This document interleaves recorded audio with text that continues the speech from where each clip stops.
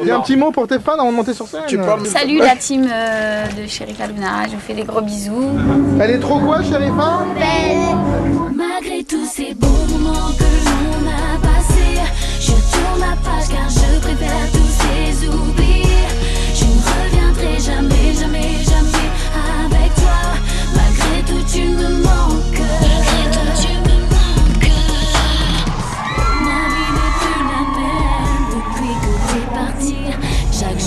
peace to live.